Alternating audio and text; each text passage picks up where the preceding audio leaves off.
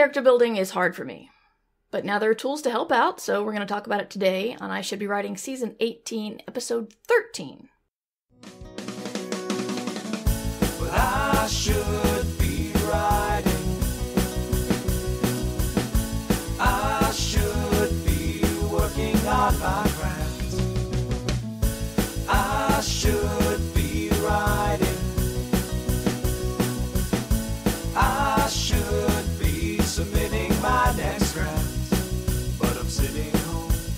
watching Doctor. So, hi there. Welcome to I Should Be Writing. It's a podcast for wannabe genre authors. Yes, I'm changing that up, putting a little caveat in there. Even though I'm pretty sure that the PR people who constantly contact me about their clients and they're convinced that they're perfect for my show without actually looking at what I feature won't hear it, but still. This is a genre show. I talk about science fiction, fantasy, horror, uh, romance sometimes, just all the genres. I like the genres. Anyway, this genre show has been going on since 2005, and now it is live Tuesdays and Thursdays on Twitch at 3 p.m. Eastern Standard Time. That is twitch.tv slash Mighty Mur. Later, it goes into the podcast feed. Last Thursday should be going up in today's podcast feed shortly. Um, my name is Mur Lafferty, and I'm a Hugo and Nebula nominated author, and I still feel like I've got a lot to learn. You can find my books pretty much anywhere that are sold in North America and some internationally, except for my most popular and award nominated book. The Brits didn't want that one. As for what I've been working on, I've got kind of good news and bad news. Not bad news for anybody else but me. Um, I haven't written a lot of words in the past two days. Yesterday, I decided I was going to eat dessert first and work on um, my new shiny idea that I got this weekend. And then I learned why you're not supposed to eat dessert first. And why we keep dessert as a treat instead of a appetizer. So uh, I wrote a lot yesterday. I just didn't write on the correct project. And um, then today I decided to buckle down and do some outlining work. She's a wretched human who's very dangerous and harmful to some people that I quite like, but uh, I do have an outline that that lady in Scotland made, and um, it was it's pretty brilliant. It's a it's like a well, it, it, it probably would be better done in, in, in a spreadsheet, but she had a piece of paper with a grid on it, and so across the top is like plot. This was for Order of the Phoenix, so it's what is the Order of the Phoenix doing in this chapter? What's ha- what's happening with the romance in this chapter? Um, and the different major things going on where what's happening with them in every single chapter and um i thought that was great so i tried to do it and i got about five chapters in and i that's when i realized i was out of order but that's okay i don't mind writing out of order because i had had a major reveal i didn't realize it until later but I had a major reveal in um, the thing I wrote today, the little bit I wrote today, and thought, wait a minute, that's got to be later. That that can't be now. This is supposed to be something that that opens everyone's eyes to what's going on, not just a, a casual thing said in a bar by a large sentient rock bartender.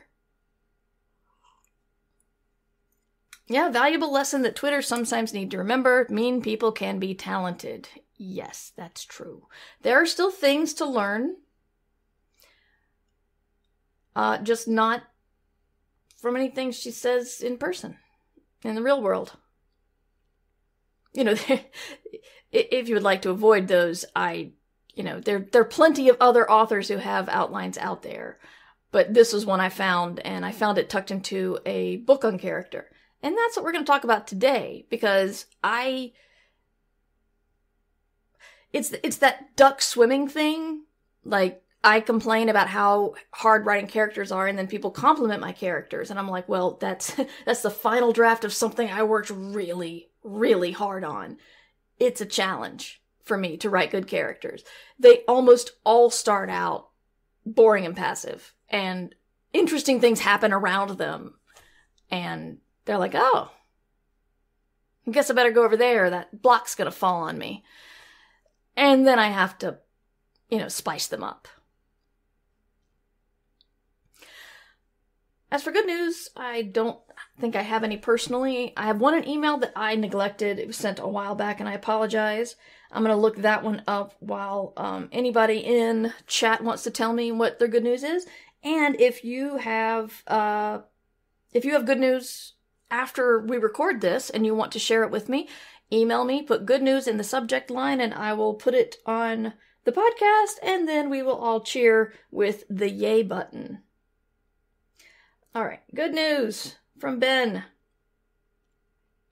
I'm gonna dilute this. It's it's kind of long. Um, after a decade plus of listening to your podcast, my my advance from St. Martin's Press just came through for my first book, which is a history of D and D, which sounds awesome. And then he says a lot of nice things about me and the podcast, which are very sweet. So the book is called Slaying the Dragon. It's about how the company that made D&D in the 90s, TSR, ran itself into the ground and was purchased by Wizards of the Coast. Hundreds of hours of interviews and even had long buried documents sent to me from anonymous sources. That sounds awesome. So I'm getting a review copy of this. I'm very excited about this. So congratulations, Ben. We are very excited for you and your new book. Yay button for you.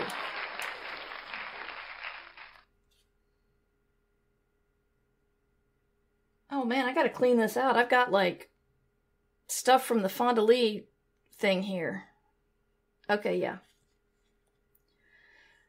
That's it for email. I don't have any good news except I have no news, and sometimes that's the best news there is. Um, go into chat. Oh, ran into the problematic thing with metal bands. It really sucks when there's a band with great music but very, very problematic opinions. Yeah, I there was a guy who played basketball for UNC that I was a big fan of when I was in high school.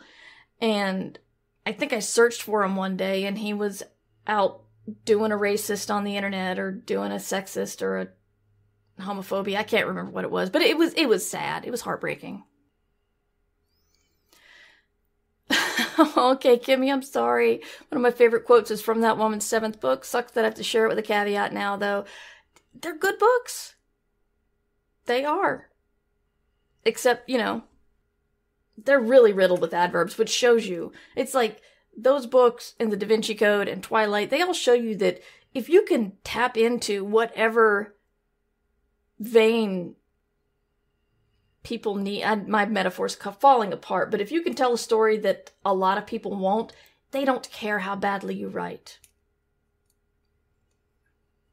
and the, the, the adverbs, I, I to most of those books and the adverbs just really stand out in audio. I don't know why. Maybe I, maybe you just start to like gloss over them once you've read too many when you're reading. But let's, we got some rejections to celebrate. Underpope got one. Star Eyed Green got two. Awesome. Well done, folks. I'm getting the yay button figured out. I really am. And we'll do this slowly. Hopefully, this will work. There's one that's 36, 37,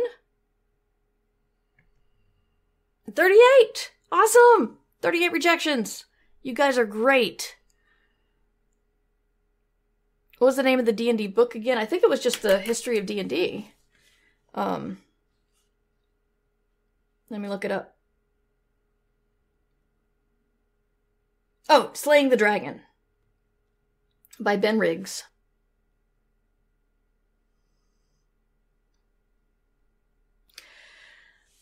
All right, let's get to the thing. I have said that um I'm not I'm not good with characters. But I realize people have been putting out kits and tools and kind of fun things for a while now and I'm very, very sorry in the fact that um, the guy who created Better Backstories sent it to me a while ago. I don't even want to know how long. I don't even want to try to think how long because it's probably much worse than my estimation. So I apologize, but I've been looking at the cards and they're pretty clever. So, um, it's got, let's see.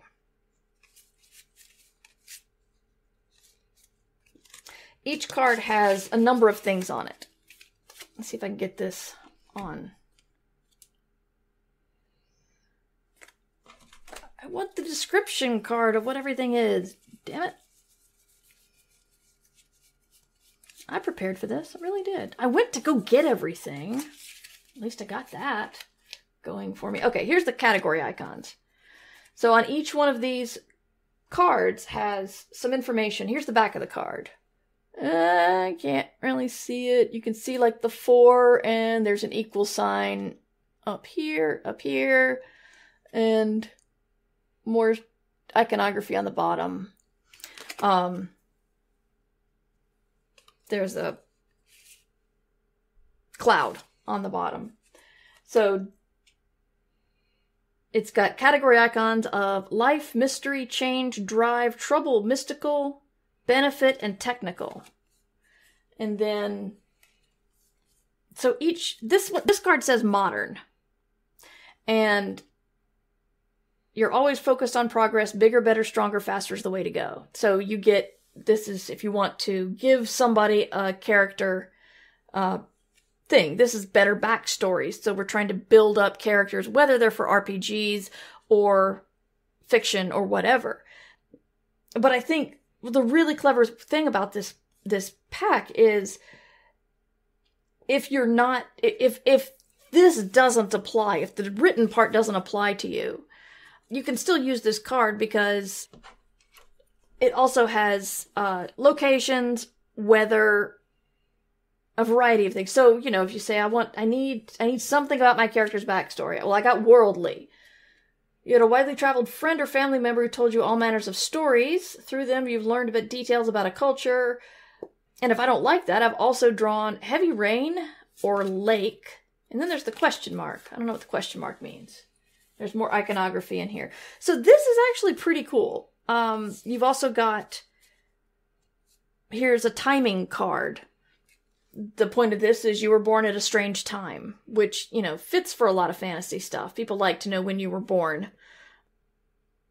You know, I guess you roll a d10 because you've got sunrise or sunset, new or full moon, blue moon, solar or lunar eclipse, midnight or noon, rainbow, New Year's Day. Rainbow's not a time. Anyway, astronomical conjunction, premature, same day as a relative. And if you don't like that, you've got Chicago on here, Windy City. This is better backstories, and they sent me this, and I did not look at it for a very long time, and I apologize because I really do think if you play RPGs or have problems with characters like I do, you could benefit from this. And even if it's something like I'm a strong believer in I kind of call it a diving board off of something. Like if somebody gives me some advice, it's possible that that advice will trigger an idea that's completely unrelated, but their advice got me there. And so that's why I kind of see it as a springboard. It's like I'm not I'm not using what you said, but you got me to where I couldn't have gotten before. And I think these cards can do that as well. Um. Oh, probably there's a rainbow over the house you were born in. Okay, that's interesting.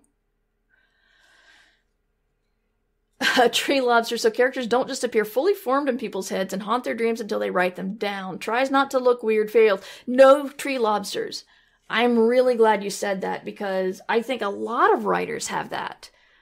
I've had people who've told me their characters by name won't leave them alone and I've act- actually felt jealous because I don't have that at all. At all. I don't have any characters in my head talking to me, telling me about their story. Like I said, when they hit the first, in rough draft, when they hit the page, it's, they're kind of bland, which is why I believe in more st- uh, stuff. So this is book two of a series. A lot of my characters are already developed, but I'm bringing in a new. I mean, someone new has come to this space station, and um, I kind of threw him in at the last minute as an aside, and he's becoming a much bigger character. And so I have to flesh him out. And I'm thinking he's he, he's he's a skeleton right now. He he's got nothing. So my plan was I was going to go into better backstories and figure that out with him. So tree lobsters, you are not weird. I've heard many people say that what you ha- what you have is is the norm, or I, I've heard enough people say that that kind of thing is the norm, not me not hearing something. Nathan Lowell, he he was a trained typist from the 70s. Like he I remember I interviewed him a million years ago and was talking to him about his prolific output. The dude can write a book in a, in a weekend. He can write 10,000, 20,000 words a day. He was classic, you know, I don't even know if they teach typing anymore because we're all kind of self taught at this point. I mean, I'm a writer and I was self taught, and my two friends who didn't want to be writers both took typing in high school. I don't know. But, um, where was I go? Oh, Nathan Lowell, right. He said that he learned how to type, um, and then he joined like a typing pool, you know, the, the, the typically full of women. He, he got a job there with them and just became a really good typist. And he sees his book as a movie in his head. And he has to write so fast just to keep up. It's very interesting how different people approach writing or how ideas come to different people. Um, checking on chat. They slowly tell me things like we're talking around a campfire. Interesting, shards. I wish this happened for me. I worked in customer service for years and felt like I've gained some decent skills with reading people, but creating a new one is a slower process for me. Yeah, my problem is there have been times I've had conversations, and they've been conversations that have either been someone manipulative or trying to catfish or very clearly we were not on the same page and i was wondering if the other person was drunk or high or just trying to mess with me. And i get away from that conversation and think could i ever write somebody like that? There was a woman who like she had a master's degree in I don't know if it was negging or this was, you know, many, many years ago. It's if it was negging or casual put downs or something, but we went out in theory to, you know, go out together at night and I went home and burst into tears. And I almost couldn't tell you what she had done to make me do it. Because any one comment from her was fine. But none of them were so blatantly terrible. And once I calmed down, I realized I'm like, could I write somebody like that? I don't think so. Um, what's negging? Good question, Shards. Negging is, uh, that's a pretty dress. It would look better if you were thinner is the uh, and put down in the same statement. It is a pickup artist tool. Yeah, that's negging. Um, so I'm gonna. I, I wanted to make a character, so I, I promised you I would. So we'll try to talk about the other things and then make a character, and then I will end the podcast for the podcast listeners and keep up with the BarCon for the folks in the chat. If you would like to participate in our BarCon where we relax a little bit, talk about anything, come hang out on twitch.tv slash mighty 3 p.m. Tuesdays and Thursdays, or if you want to, want to listen to the BarCon, support at patreon.com slash mightymur and you'll get all of this unedited. Possibly even my swearing that Summer has to cut out. So now we have Rory's story cubes. Ah! I'll never get that uh, mirror thing going with the with the video. I'll figure it out. I always wonder how the weather people do it. Because, you know, to them, they're like, oh, weather's happening here. And, you know, they, they only see the green screen. They're magic. wonder if there's like a, a class in meteorology school to point. Well, sure, they have monitors on the side. I can see myself right here, but I keep, I always go to the wrong side when I want to point at something. Um, so yeah, the story cubes. Party game or icebreaker, problem solving, creative inspiration, speaking and learning skills, mental workout, literacy development. So it's got a lot of different things. Um, how to play is roll all nine cubes and look at the face up images. Pick an image that will be a starting point for your story. Um, once upon a time, we got a fountain here. So, uh, think up a title or theme for the story. Then roll all nine cubes to tell the story that relates back to that title or theme. Oh, these are suggested ways. This is not do it in order. Um, divide the cubes evenly among the players. Start with one player and continue in a circle. Take turns rolling the cubes and adding to the story. Um, so yeah, these are. So I'm not going to read every single side because these are six sided dice and there are nine of them, and I have things to do. There's a sad face and a key and an eyeball and a fish and the earth. There's a smiley face. There's the, the classic clue, the the clue clue token from uh, Arkham Horror, or I suppose Clue. Clue didn't have clue tokens. Arkham Horror has clue tokens. Um, so yeah, these are. I think these are a little bit more abstract than the Better Backstories book you might think in that better. You maybe may not want to see figure out how to incorporate an impact, an otherworldly event has touched your life. Maybe that doesn't work. Maybe you want to roll that was really loud and have a parachuter. So, um that's how to use the cubes. Much it's more vague, more broad and uh more opportunities to do stuff. And then we've got, um, of course, I took it out of the box and left the box in the other room. I think, oh no, there it is. Uh, Writer's Emergency Kit. Yeah, I bought this when it came out, and then a friend of mine gave me one, so now I have two. Um, so these are, I, let's just say it right.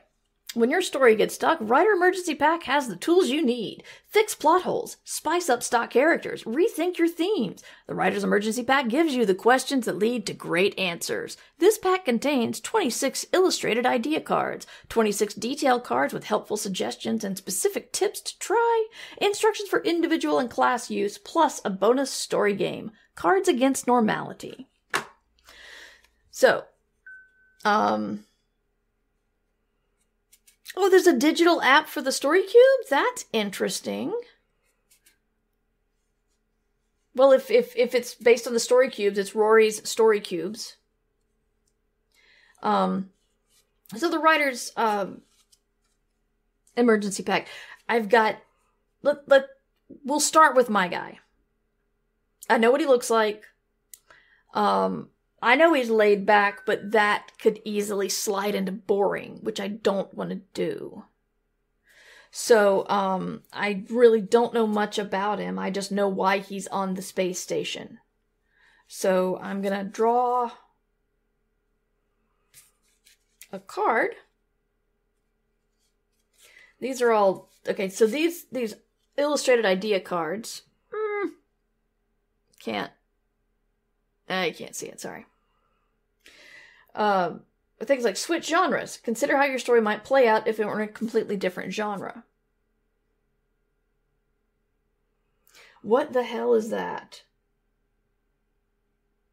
Oh! Okay. It's a horse in a bear skin. Next to a crushed beer can.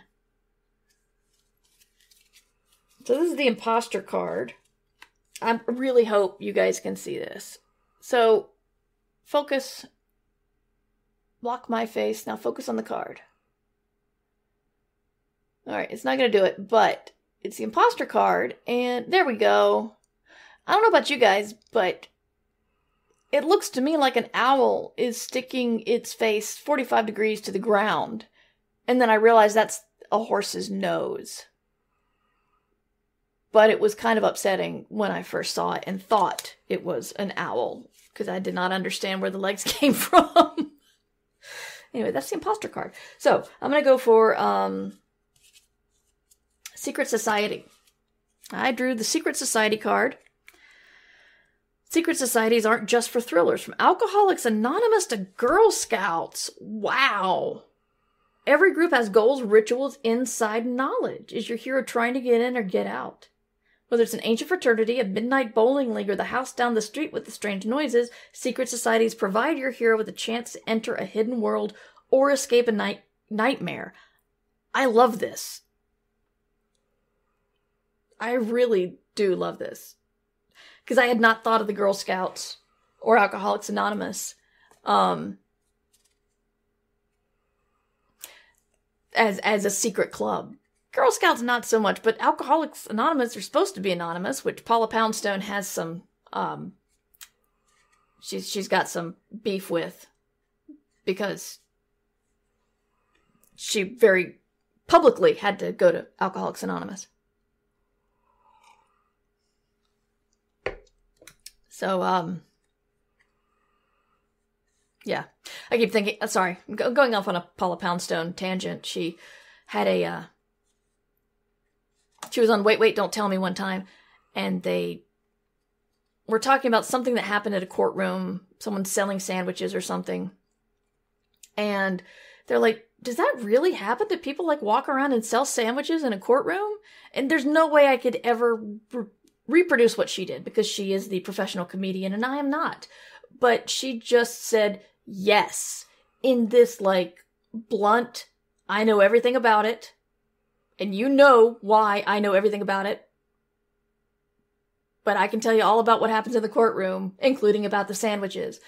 And um yeah, that was very, very amusing it's really hard to tell because I can't be Paula Poundstone and it's like I can't reproduce the timing and the how she said it. But yeah, she she had some issues with her I don't even think they ever said what happened, but she was a guardian to some kids and had some alcohol incidents. I don't know what they were. So she was arrested and, and had to go to Alcoholics Anonymous and and now she can do stand up about the trial and Alcoholics Anonymous, which she does. Everything is grist for the mill, folks. If you're having a really bad day, think about that. No, I, am pretty sure that imposter was a horse in a wolf in wolf clothing. That was a horse. Yeah, sheep sheep don't have faces like that. But it does look like sheep I don't know. I don't know what this is. Because it really does look like sheep feet. But that's a horse face. I've got to stop looking at this. It's going to really bother me. I think you know horses and sheep. Do you know poorly drawn illustrations? I know you know horses. But I, that that that nose was not a sheep's nose. All right, so um so these are these are pretty good. We got the every blessing is a curse. From monkey paws to pet cemeteries, fables have taught us that gifts rarely come without a price, but this needn't play as a supernatural moral lesson. Almost any improvement in the hero's life can backfire. Look for ways to turn a character's achievements against him. The new love interest can become a stalker, the new house can become a death trap, the new job can literally be murder. So, um, so yeah, I think, I think I'm gonna try to beef up my character using some of these. I'm not quite sure how to use all of them, but I guess I should think about his backstory. Um, my first book, this isn't a big spoiler, is a story about people who, um, about a woman around whom murders happen. You've seen it in Murder She Wrote, Father Brown, um, Miss Fisher Mysteries, uh, just death happens around these people, and they're usually folksy or charming or some very charismatic and gregarious and stuff, and they solve the murder and usually upset the local con- local cops and um you know rinse and repeat. And they've got a motley crew of of uh helpers. The um the cab drivers and miss fisher were my favorite but um in it i just kept thinking in real life no one would want to be around you. Nobody. So i that's that's where my thought came from. So we've got this woman whose murders happen around her. So she leaves earth. The second book i've got someone who's just always seems to be around when bad things happen not not murders and he doesn't solve anything. So is he lucky because he doesn't die in any of this? Is he unlucky because this stuff keeps happening around him or what? So this is the character i've chosen to cover. But i don't know much about him. I've decided he has a medical background but that could mean anything from like certified nursing assistant to EMT to full fledged doctor. Um, but I just drew the card that says wealthy. Your family comes from above average means. They might even be nobles. You might have been born into privilege. That's not how you spell privilege. Okay. Or you were there while your family improved their station. So, and, and the iconography on here also mentions the weather of thunder and the location of hills. So we have um my unlucky slash lucky guy, wealthy, born into good means. I'll choose another one and we'll get the chat involved to see how what you guys think we should do. Or if you're on board with wealthy, you need to tell me uh, is this new money or old money? Is it work hard money or cheat all the poor people out of and and be a slumlord kind of money. Glitch. Technology always seems to malfunction around you. From the scissors from scissors to mainframes, the darn things just don't work right. This actually fits his character. There's also mudslide and grassland on here. So, um, that fits him pretty well. What are your thoughts on where his family's wealth comes from. I am curious. If you guys don't answer, I'll just roll a story cube and I might pull up a fish, and then I'll have to figure out how to choose his wealthy lifestyle from the fish, and it'll be your fault. There is a sheep here, though, Fire Rider, just for you. Is there also a horse? There's a foot. Now I gotta find the horse. Damn it. Sounds like he's a doctor to me. Hey, Litropod. Okay. Oh, this hurts my head. There's a die with a die on it. It's dice all the way down. Doctor has interesting backstory implications for sure. Fish equals black market illegal fish sales. Is that how you build wealth, though? Like, dynasty, generational wealth?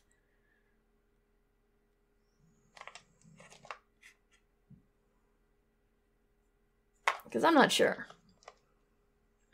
A doctor in a sci fi novel that has trouble with tech, though? Yeah, you wouldn't want him to be working on anybody. You know, when um, my mother was doing the I want you to grow up and be a doctor and be successful and stuff. She also told me I should be a dermatologist because they never have emergencies. because anytime something bad happens to the skin, you know, the burn units on it or the surgeons on it or yeah. No no emergencies in dermatology.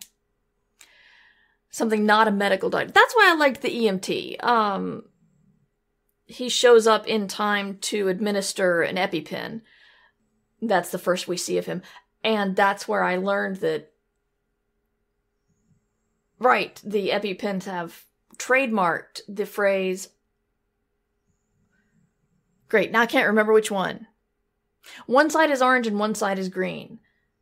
So it's like orange to the sky, green to the thigh, or the other way around. And that's why you like hold it up and then you jam it down in the thigh. Um, sorry, Fire Rider, I shouldn't be talking about needles, but um, anyway, I just found it funny that they trademarked that that kind of bad rhyme.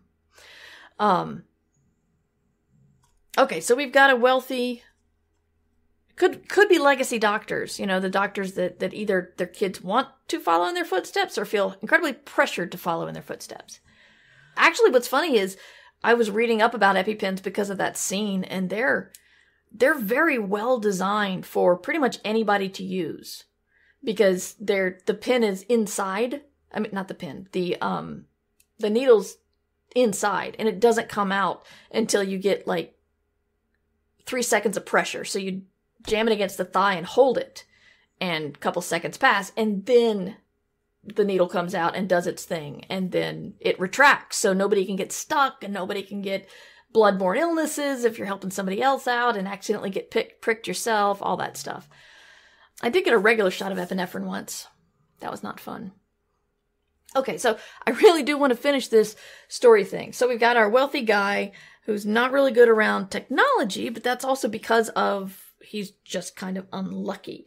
So we're going to go into the um, into the writer's emergency kit, and I pulled out secret societies again. So um, I think I'm going to put him in a secret society.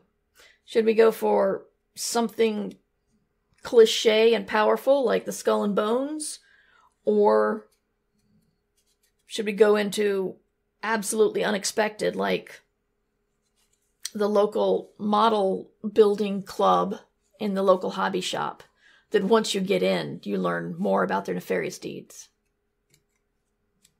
What's your thoughts on secret societies? National Weather Service Skunk Works or Black Ops. Something old fashioned, so he has an excuse to avoid technology. That's interesting, Dysa Lily.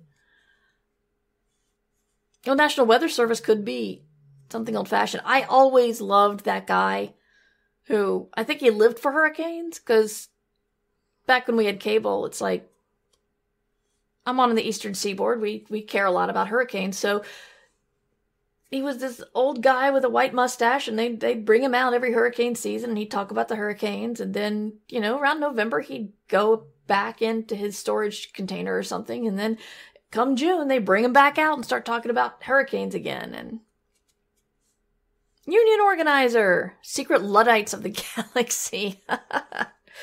um, I'm getting into the weather thing. I like the weather, the, the secret weather club, but not the meteorological devices because surely there are hobby meteorologists out there, right? Like just like hobby astronomers or something? Okay.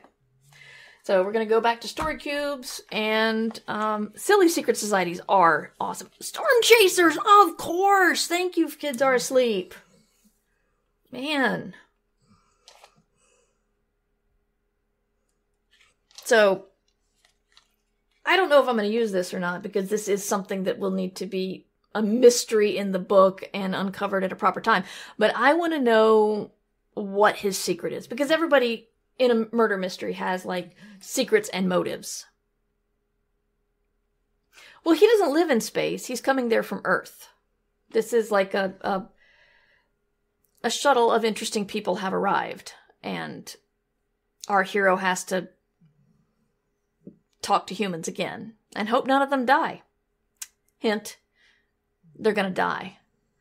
Um, so I'm gonna I'm gonna roll this die and see how uh, what his secret could be. I got a damn magnifying glass. His secret is secret. He's the guy who took down 40 of SpaceX 46, 49 Starlink satellites recently by mistake. Did that happen? I know about the security guard who drew eyes on a million dollar painting because he was bored. That's true. Solar storm. Wow. kind of puts whatever mistakes you made in the past year kind of uh, on the small potatoes category. All right, I'm rolling another die because I did not appreciate getting a clue for the secret. Okay. We got we got the the parachuting guy or gal again. So how does one rope a parachute into a backstory? We've already got him in a secret society and a doctor. Have there been many people parachuting for wars? I don't think that really happens much anymore.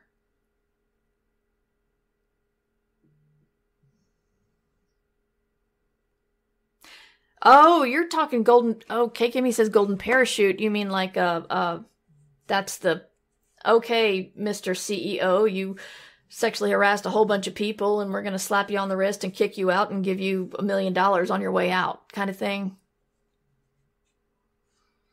If the secret is secret to him, uncovering it could be the plot of a subplot. Well, it it also could have something to do with somebody in his past. Cool, cool, cool. We're going to talk about this a little bit more in the BarCon, but I'm going to go ahead and end the episode right now. Oh, Lord, we've got, been going a while. Sorry. Uh, anyway, the, the, the tools are Rory's Story Cubes, which I also hear there's an app for. We've got Better Backstories, which is a very thick deck of cards that, um, I think, I think is great. I'm going to be using these uh, more when we're not recording. And we have the Writer's Emergency Pack, which um, it feels like it would be really specific, but as there's a lot of content on here, like the Secret Society is making me think of like Girl Scouts and Alcoholics Anonymous, and um, you know the the card is just Secret Society, but it it the the the text really helps you expand your view of what these things are to make your story more interesting.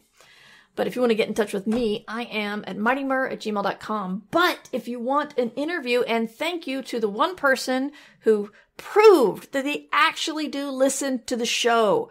Thank you, thank you, thank you. My assistant will be in touch. If you would like to be on the show and you're a genre writer, even bonus if your debut in the past three years, um, even bonus if you're from a marginalized uh, group that doesn't usually get interviews, have your publicist or you contact my assistant, lafferty.assistant at gmail.com. You can see all my books and podcasts and stuff at murverse.com, and I am not ashamed to say that Hugo nomination season is here. Um, I'm eligible for Fancast. Ah, where did they? Where did the words go? Fancast, Best Editor Short Form, along with SB Divya, and Best Semi Prozine for Escape Pod. And that's what I have to say. So, see you next Tuesday, and until then, you should be writing.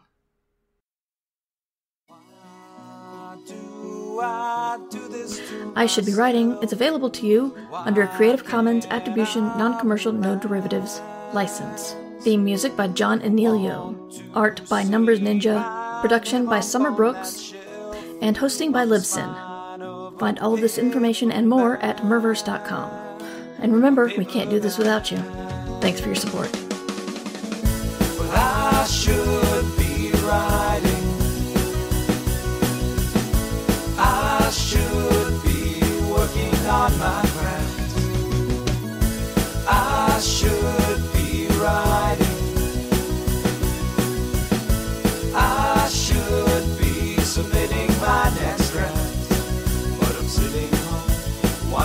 Doctor.